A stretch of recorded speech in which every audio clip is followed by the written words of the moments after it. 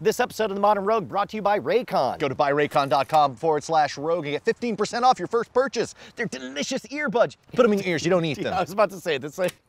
They're earbuds that are very good. The sound is delicious. No, that doesn't work either.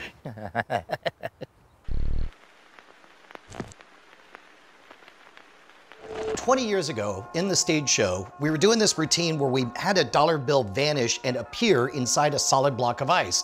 And so we needed the ice to be clear we weren't ever able to get it clear. We got it mostly clear. I tried all the things that I'd heard of. This is pre-internet basically. I'd heard try distilled water. I heard try boiling the water and then put it into the freezer boiled or whatever. I know that clear ice is a thing. I've seen icicles. Professional chainsaw ice sculptors are using clear ice. You're getting a little mad at nature. I, this is 20 years of vengeance waiting. I want the secret to clear ice. Oh, by the way, we're here with Nick from Cocktail Hello. Hey, Hi. Nick. Thanks for having me. Forgive him. There are a lot of misconceptions out there. The most frequent comment and question I get is, yeah, can I just boil the water to get clear ice or use filtered water? So you're saying that's totally bogus. Doesn't matter if it's filtered, doesn't matter if it's been boiled. What, why does everybody think that? It's a good question. I think it can help the clarity of the ice. It's not going to get you perfectly clear ice. Usually if there's a lot of impurities in your water or you don't have great water, you'll want to boil it first. But a lot of the cloudiness from ice actually comes from trapped air and other impurities within within the water. So not just the bubbles, but yeah. the, the weird cloudiness that comes from yeah. trapped air as well. That's not like yeah. something you can boil away. Yeah, you can't boil that away. I mean, you can you can help it a little bit from boiling, but you're never going to get perfectly clear ice that, that you'll find where it almost makes the ice disappear because uh, it's so clear when you pour liquid into it. So what I have here is just a very simple cooler that might fit a six pack of beer. You can get this for like 20 bucks on Amazon. The way this is gonna work is using a technique called directional freezing. And this technique was actually developed about 10 years ago by a guy named Camper English, who figured out how to make this at home. Oh, you're making that up, but keep going, it's cool, I'm with it. So what we have here is this cooler, and I've actually, you can see is, I've removed the top of it here, right? So there's no lid, I've pulled it right off. And what that leaves us with is this device that is insulated on all sides except for the top. And that's gonna force the freezing process to happen from the top down because this part is exposed and so the freezing is going to happen here first and that is important because all of the impurities and the trapped gases form at the end of the freezing process. So we're effectively pushing all that impurity and cloudiness down to the bottom and then we can hack it off. Or what we've done here is I've actually pulled this out of the freezer a little early. And so we're gonna see some water at the bottom of this as well. This suddenly makes sense. This is why icicles are clear because they are directionally freezing yeah. down. So let's do the reveal here. I'm gonna invert this and this, this big block should come out. Hopefully it doesn't go spilling everywhere here. All right. Oh, that's weird. Wait, is that still water trapped inside? Yes, yes. So I let this freeze for about 24 hours. My freezer at home is about negative eight degrees Fahrenheit. And so it, it didn't freeze fully solid.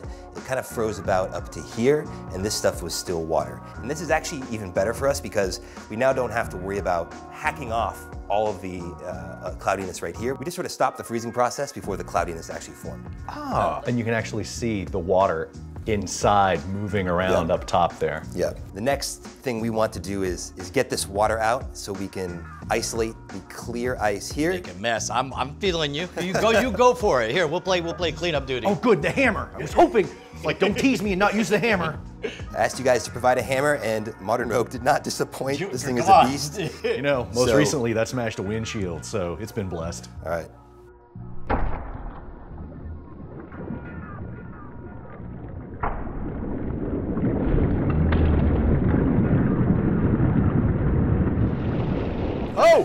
Total, wrong direction. We prepared for the wrong direction. It's fine. It's fine. Oh, that's neat. Yeah, so we got all this water here we want to get rid of. Um, Is I'm it, gonna... Oh, dude, you can't really even tell where the ice begins and the water ends. Oh, wow. You can already see some of the clarity here. So let's just, we'll get some of this stuff off here as well. This part's actually the fun part. Some people will say that perfectly clear ice also has the benefit of melting more slowly because you don't have those trapped gases in the ice cube. The reality is you're not going to really notice that impact. It's mostly aesthetic. It makes the drink look pretty. Now, is this the same method that they use for like ice sculptures and stuff like that? That's using a, a machine called the Clinebell oh. machine. Oh. And I believe that actually works more by circulating the water as it's freezing. So it kind of freezes in layers, is my oh, understanding. Okay. Oh, that's actually, look yeah. Wow.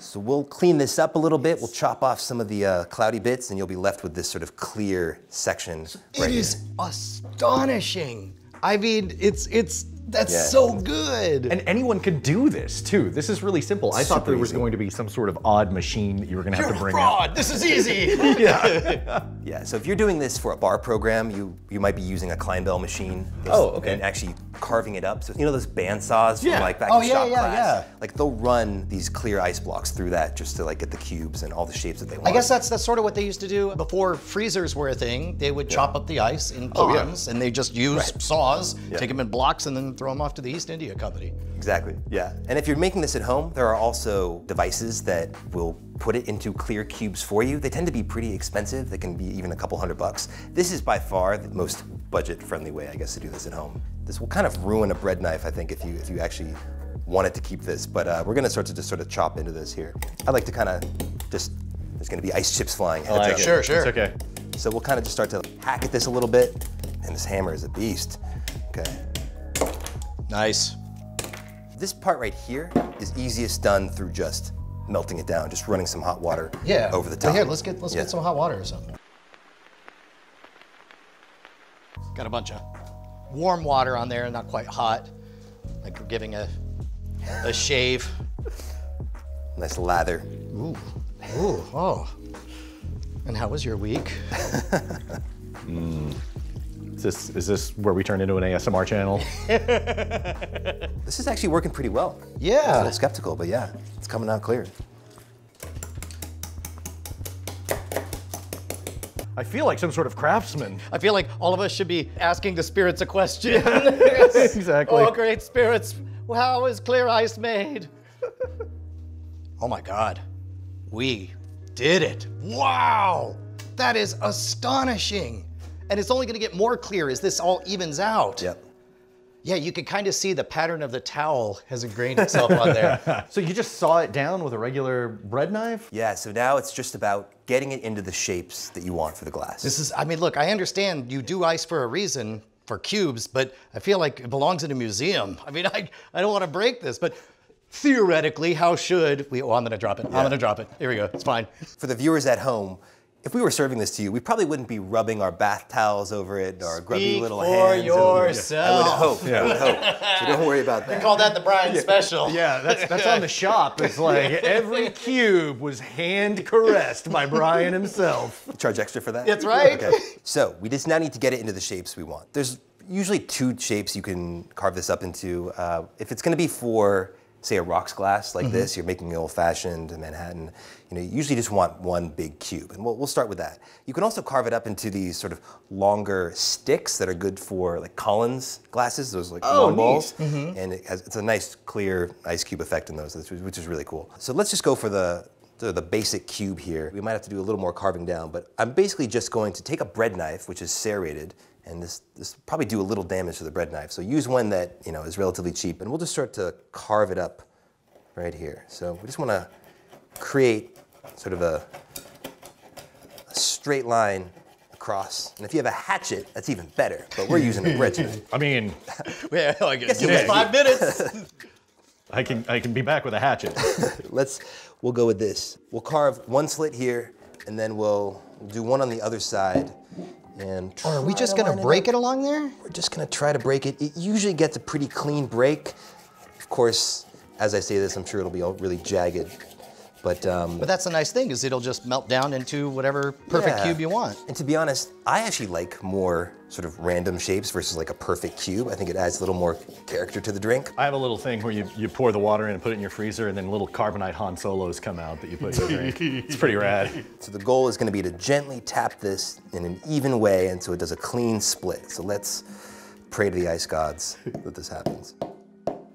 Her name's Elsa. Elsa.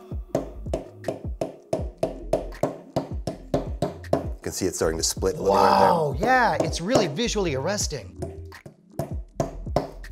Oh, Hey, that's pretty good. ooh, that's very pretty good. good. Oh wow, and, and it really decided to go its own direction on here. We had pre-serrated this side. That's true, yeah. But. I guess once it starts going, it's gonna go whichever way it wants. Yeah, it's a bit it's a bit random like that. We'll continue to carve it down a bit into the shapes we want. So let's now cut into sort I'm of a cube with you. side. Look at look at how much prettier that is with that texture on Yeah, the side. it's nice, right? That mirror finish.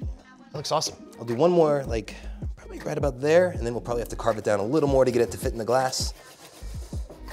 And I'll just do one side here at this point. You don't really need to do both sides. A few taps. Ooh, How about that, hammer, though? good. All in the hammer. Yeah. We're almost there. Whoops. So let's There it let's- is. Let's size this here. So that's a little too big. Perfect. Yeah. I say we're good. I'm a modern rogue! We're done. It might get a little jagged, but it's all right. This is way less of a race against time than I thought it was gonna be. Ice sticks around a shockingly long time. And we were talking about this. They literally can ship it around the world without it melting. It's just a matter of surface area, right? If it's all, Sure. it has to melt from the outside in. Yeah, yeah. These big cubes will stick around a while. Yeah. And again, if you're doing this by the sink, you can run this under hot water as well to Mm-hmm. to kind of shave it down a little bit. This way's a little more fun. You can kind of like start to shape some texture in there. I really like the texture that the bread knife is putting on there.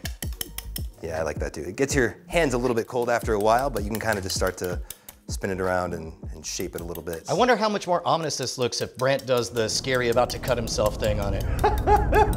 The injury counter just pops up right here. Wow. it starts appearing like a threat. It's like, Do we need a don't try this at home disclaimer? Yeah. Smacking a knife, knife against your hand? Yeah. Some people will even go so far as to like get a really sharp knife and like shave diamond Yeah, cuts don't, and all don't, this don't stuff. cut towards your hands. yeah, that's it's a bad idea. Even though it doesn't perfectly fit, spin it around a little bit, it'll sort of melt against the sides of the glass and uh, should get us the shape we want. And some people actually don't really like a giant cube. It's sort of based on personal taste because you might get a little bit on your nose as you're starting to sip on it, but I like it. I think it looks cool. Oh, that looks good. May I? Real pretty. All right, let's see.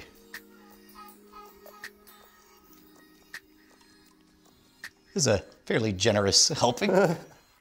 Yeah, you're still getting plenty of whiskey in there. wow. You can see right through it. That's awesome. Oh, that's amazing. It barely even looks like there's any ice in there. That is awesome. And again, this is just regular tap water?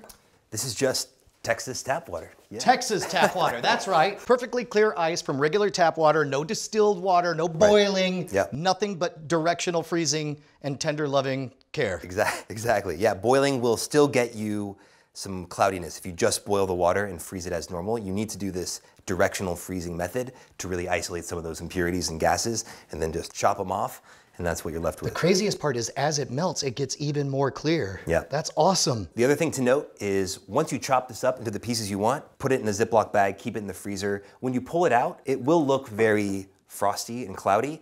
That'll all go away once you pour the liquid in. But it's really important to temper the ice before you pour the whiskey in. Because if you pull it out of the freezer and then you drop it into your glass and pour some liquid right on top, it's gonna crack right Yep. away. Let it Right. sit for five minutes at least, and uh, it won't crack. And then some of the frostiness from the freezer will come right off, and you'll be you'll be left with. The So you want the outside starting to melt by the time it goes into the drink. yeah, yeah. Got Have it. it be a little moist on the outside. Look a little smoother, a little glossier. Exactly. Exactly. Excellent. Well, where can we find more about all of your wizardry, Nick? Head over to uh, Cocktail Chemistry, my YouTube channel. I'm also on Instagram, and we do a lot more fun science experiments like this with cocktails. Dude, that is awesome. I just went into a full-on panic. We're about to leave on vacation. I get out of my car. I'm, I have my Raycon earbuds charging, my E25s, you know, so that I'll be able to get the maximum amount of hours on the road. And I get out, I walk away, and I walk back, and one of my earbuds is on the seat. And I open it up. I'm like, oh no no no! I had them in my lap, and then I got up, and it was like full-on panic. I mean, luckily it was just right down there. Okay, losing one is worse than losing both, I think, because if you lose one, you know that the others may be close by. With any other earbud, it would be a disaster, but Raycons are so freaking affordable. I love the low stress of knowing that it's like, if I did lose one, I'd be like, I could, I could buy four sets of Raycons and still not match the dumb price for some of the overpriced other guys. They start at about half the price of some of the premium ones, and they're every bit as good. The quality is incredible. The battery life is great on their new E25s. It's like six hours, and they've got that delicious built-in bass now, and it just sounds spectacular. Yeah, for me, it's all about the comfort. I, I sleep in them and it's great. I mean, we love our Raycons and we love, in fact, we're at the point now where a bunch of fans are hitting us up on Twitter, on the comments, saying, no, sincerely, Raycon's best thing ever. Go to buyraycon.com forward slash rogue, get 15% off. Be like me.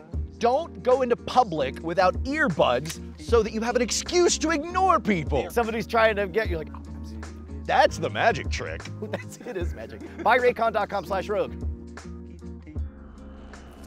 Believe it or not, this video on my channel on how to make clear ice Yeah? is by far the most popular. yeah, Get, the get internet, ready. Here comes number two. Yeah. the internet loves clear ice. I'm not quite sure why, but um, I mean, who doesn't love clear ice? It's magic. this is actually working pretty well. Yeah. I'm skeptical, but yeah, it's coming out clear.